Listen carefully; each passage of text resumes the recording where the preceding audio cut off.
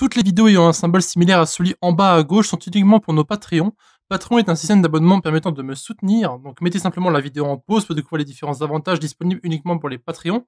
Et donc les quatre images sont les différents tiers disponibles, et les titres en haut à gauche sont les vidéos uniquement disponibles pour ceux qui me soutiennent.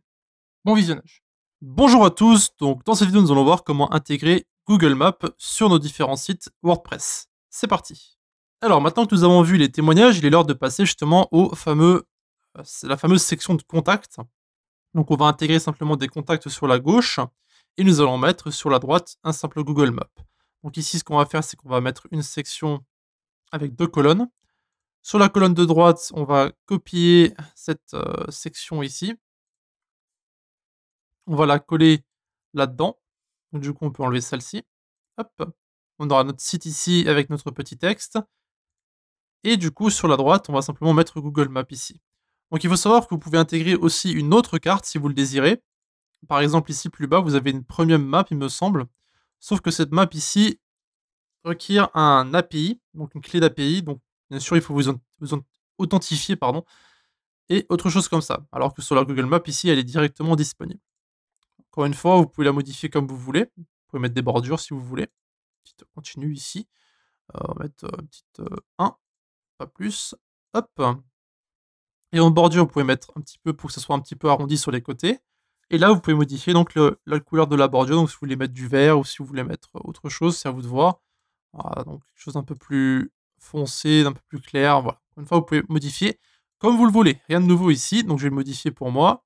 Je vais faire en sorte qu'il y ait en fait une marge entre les différentes sections, bordures, colonnes. Donc si on met sur la gauche, on va mettre un petit 5 pixels, pas plus.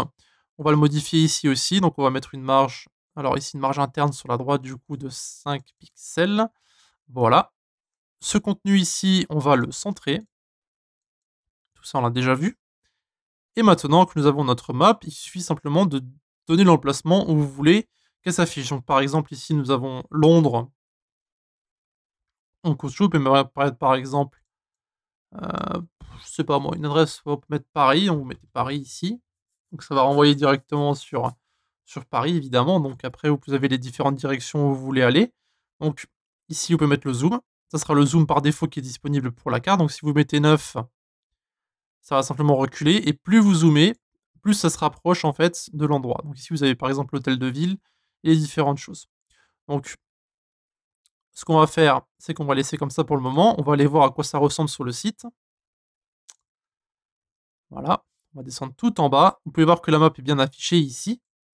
Et donc, si vous voulez empêcher le défilement, comme c'est marqué ici, vous pouvez le faire. Ça empêchera en fait à la personne d'aller à gauche et à droite sur la carte, mais elle pourra toujours, alors, toujours dézoomer et zoomer. Alors, on va mettre à jour. Voilà. On va revenir sur le site en lui-même, parce que j'ai l'impression que ça bug un petit peu avec la preview. Voilà, donc ici, vous pouvez voir CTRL plus scroll pour dézoomer. C'est marqué. Et là, vous pouvez donc défiler la map comme vous le désirez. Vous pouvez la mettre en plus grand. Donc ça va simplement renvoyer sur Google Maps avec les différentes coordonnées que vous avez ici. Et ça permettra simplement de, bah, montrer à la personne où se trouve votre entreprise ou votre, votre magasin, etc. Peu importe.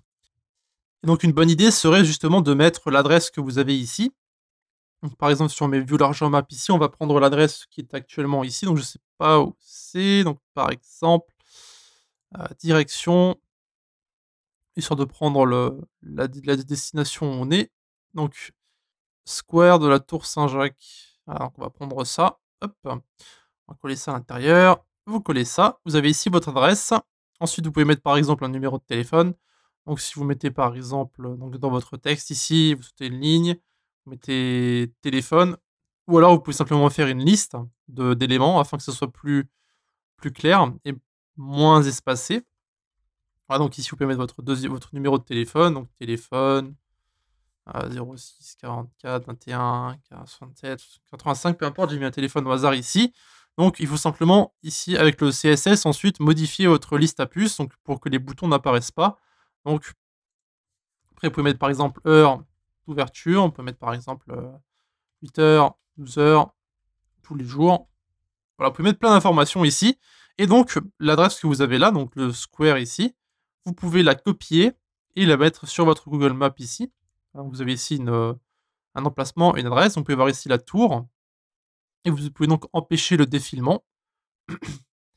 Et ici, ce qui va se passer, c'est que ça va être automatiquement collé sur la tour Saint-Jacques en elle-même. Et de ce fait, si vous allez ici et vous regardez là, vous allez justement l'adresse. Et donc la personne qui a cette adresse-là, il pourra simplement cliquer sur direction ici. Et il pourra donc avoir la direction vers la tour Saint-Jacques via sa, localisation à lui. Donc voilà, ça peut être pratique à faire. Et d'ailleurs, c'est requis, on va dire. Donc le défilement, vous allez le désactiver par défaut. Comme ça, la personne pourra interagir avec la carte ici. Donc, il pourra simplement taper sur View Larger Map ou Direction.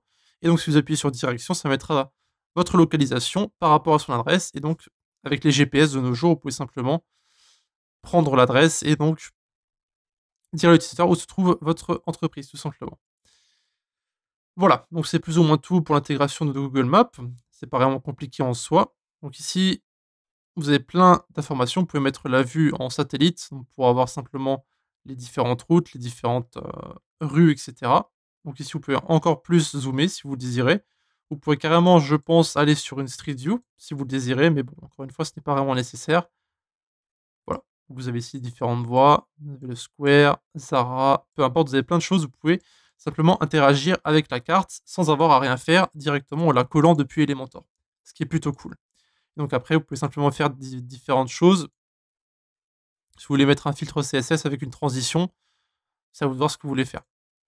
Encore une fois, visitez simplement les différents onglets de style et d'avancée pour gérer l'emplacement de votre map sur le site pour que ce soit bien placé avec vos différents éléments. Donc par exemple avec le, le, les témoignages ici ou avec le contact à gauche. Plus tard, on verra comment gérer la partie mobile. Donc ce sera ici le mode responsive. Donc, bien sûr, par défaut, comme ça, ça ne ressemble pas à grand-chose. Donc, vous avez ici la, version mobile aussi, qui ressemble elle aussi pas à grand-chose. Vous pouvez voir ici, par exemple, ou ici. Mais ça, on le modifiera un peu plus tard, lorsqu'on aura terminé de faire la page et qu'on aura fini de découvrir les différentes fonctionnalités d'Elementor. Donc, si vous avez des questions à poser, vous avez le Discord de la communauté ou bien encore les commentaires YouTube. Et donc, on se voit dans un instant pour la prochaine vidéo. A de suite merci d'avoir regardé notre vidéo jusqu'à la fin. encore une fois, vous pouvez nous retrouver sur Discord. Donc l'invitation se trouve en bas à droite. Et aussi un grand merci à nos Patreons qui nous suivent pour le moment, donc qui se trouvent en bas à gauche. Si vous désirez avoir plus d'informations sur Patreon, allez simplement dans la description et retrouvez-nous directement sur le site.